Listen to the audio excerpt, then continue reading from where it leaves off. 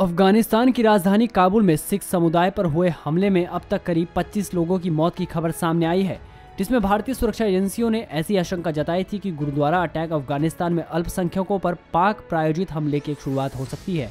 हमले की ज़िम्मेदारी इस्लामिक स्टेट खोरासन ने ली थी, लेकिन भारतीय सुरक्षा एजेंसियों का मानना है कि गुरुद्वारे पर हमला आईएसआई की मदद से हक्कानी और लश्कर तैयबा ने की थी। बता दें कि 24 घंटे के भीतर काबुल में दो हमले हुए। पहले हमले में अफ़गानिस्तान की राजधानी काबुल में मौजूद गुरुद्वारे में घुसकर बुधवार को भारी हथियारों से लैस एक आत्मघाती हमलावर ने गोलीबारी की। इस हमले में कम से कम 25 लोगों की मौत हुई। वहीं 8 लोगों के घायल होने की खबर आई, जबकि दूसरा मामला क्रीमेशन ग्राउंड से 50 मीटर की दूरी पर हुआ, जहाँ गुरुद्वारा अटैक में मारे गए लोगों का अंतिम संस्कार किया जा रहा था।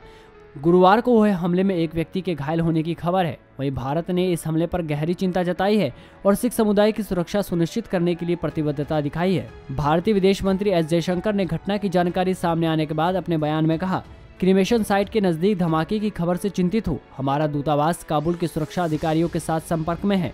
मैंने उन्हें क्रिमेशन साइट और घर लौटते वक्त उपयुक्त सुरक्षा उपलब्ध कराने को कहा है। जानकारी के लिए आपको बता दें कि अफ़गानिस्तान में सिख समुदाय के महज 300 परिवार ही रहते हैं, जो कि अब वहाँ डर के साय में रहने को मजबूर हो गए हैं। ऐसा ही एक हमला साल 2018 में हुआ था, जिसमें 19 लोगों की मौत की खबर सामने आई थी।